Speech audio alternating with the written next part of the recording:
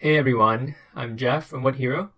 In this short video, I'm going to introduce to you some of the main features of WordHero and how you use these features to generate uh, content.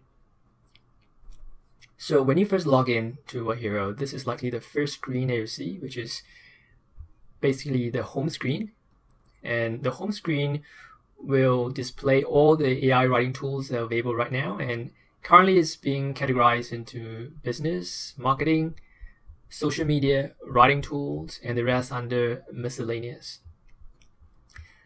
And you can uh, access this home screen by clicking on the WordHero logo in the top left corner.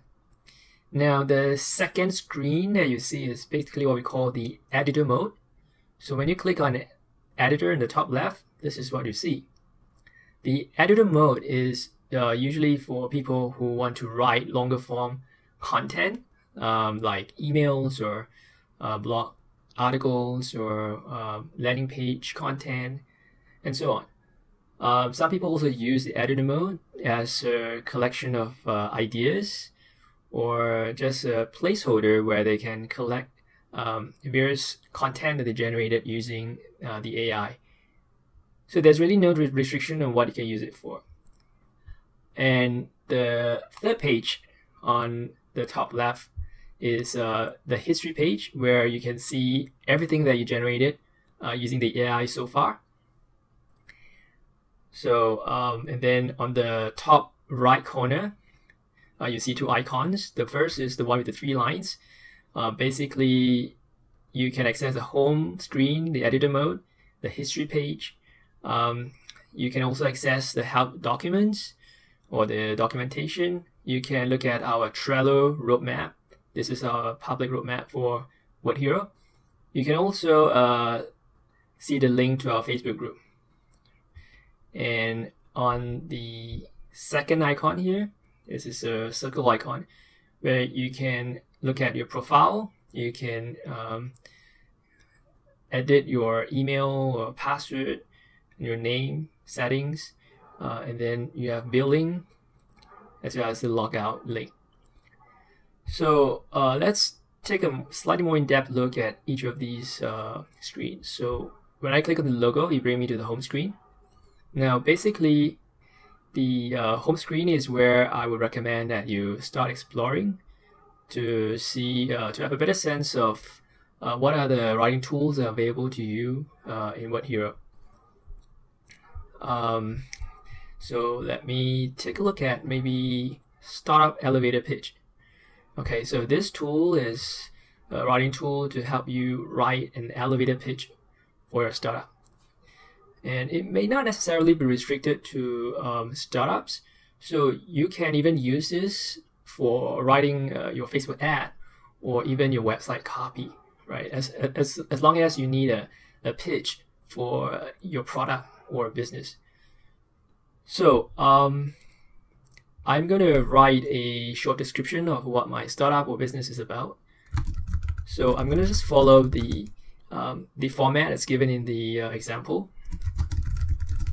I'm going to type in WordHero, which is an AI content writing tool. So it's in bullet form. Um, take a look at the uh, the instruction here. It, tell, it says uh, write what your startup is about, use bullet points or short sentences.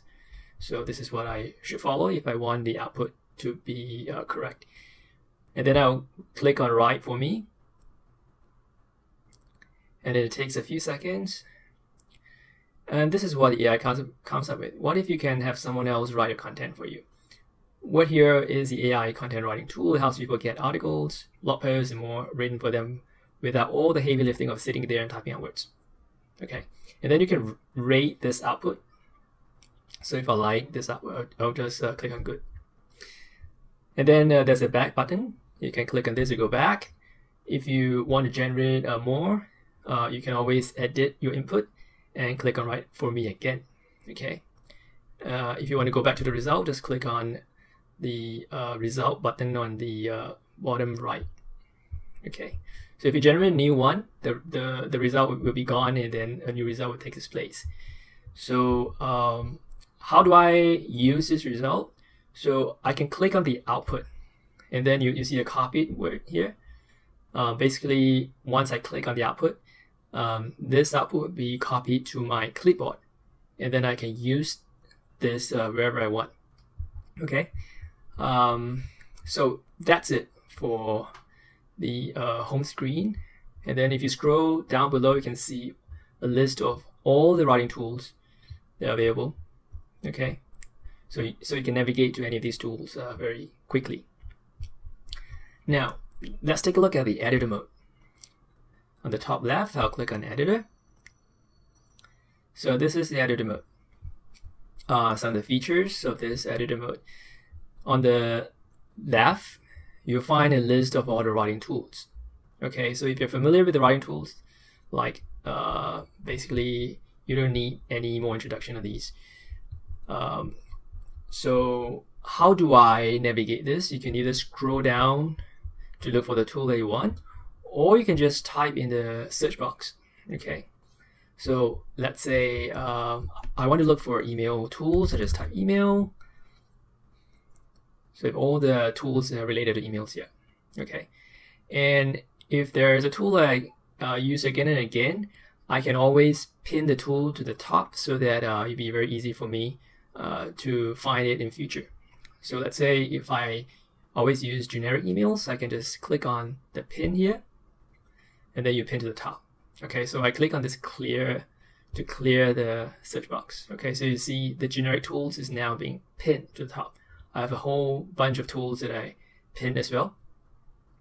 And uh, basically, WordHero will remember what you pin, and in future, even if you relaunch the app, um, the, the, the pin tools will always be there. So in the middle is basically where you uh, type in your um, your title and the content of your document. And on the right side, you see a word count here, as well as some buttons for uh, creating a new document, opening a document, saving, uh, deleting the current document, as well as there is a link to our Facebook group. Okay, so let, us try something and see how the uh, editor mode works. So let's try the generic emails. I'll just click on generic emails. So this is pretty similar to um, the earlier screen that we saw. So you have to answer a couple of questions um, for the AI to generate the content. So for generic emails, there are two fields that you need to input. First is the recipient, who you're sending the email to. And second is a short description of what the email is about. Okay, so I'm going to type in um, the exact same uh, example here. Why SEO is important for small businesses. Reply to this email for a free consultation. Okay, so um, it's best to be as specific as possible in your input so that the AI will actually understand uh, what exactly you want because the AI cannot read your mind. So you do have to be a little bit more explicit in uh, telling the AI what kind of output that you want. Okay, so if you want to call the action, then I'll just put a reply to this email for a free consultation. And I'm going to click on write for me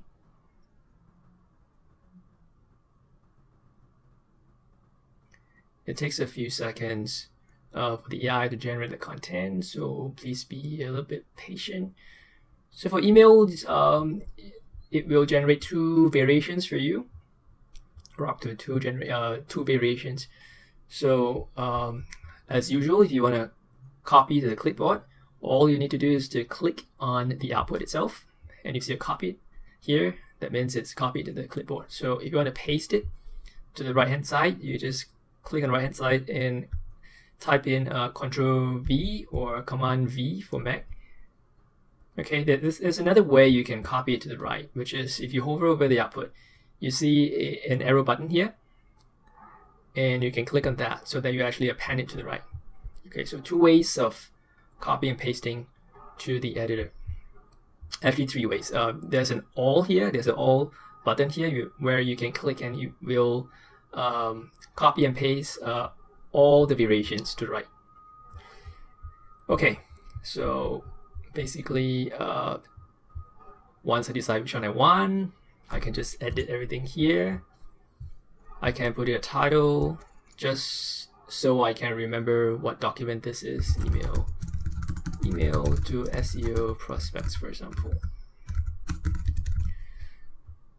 So there is uh, auto save enabled, so you don't really need to save it, but if you want to be sure, just click on save. And if you want to open it in future, just click on open and you'll be able to find find it here. Okay. Uh, if you want to create a new document, stuff from scratch, click on create a new document. Yep, so that's ready for the editor mode. Now let's look at the history page.